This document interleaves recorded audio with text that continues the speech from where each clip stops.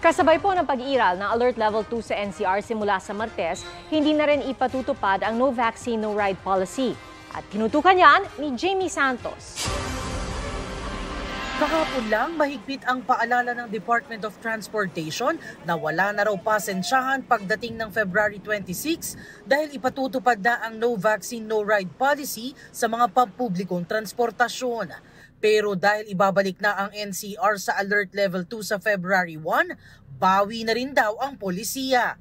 Klaro po doon sa department order na pinirmahan ni uh, Secretary Art Tugade na ang no vax no ride policy po ay magiging um, operational lamang or in full effect kapag ang NCR po ay nasa ilalim ng COVID-19 alert level 3 or higher.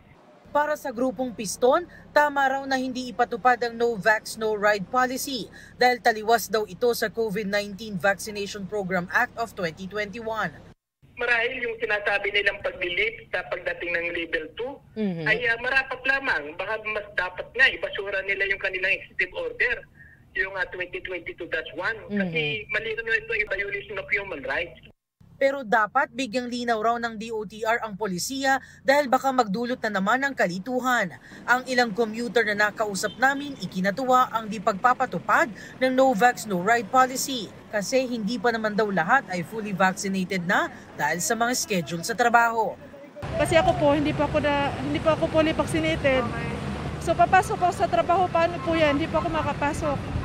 Pag ganun po. Ay, pabor. Para ano, hindi nahirap sa pagsakay. Para may freedom naman yung iba. Kung ayaw nila, wala tayong choice eh. Jamie Santos, Nakatutok, 24 Oras. Magandang balita mga kapuso, kahit ano pa man ang oras, mapapanood ang 24 Oras Weekend at iba pang newscast sa youtube.com slash GMA News.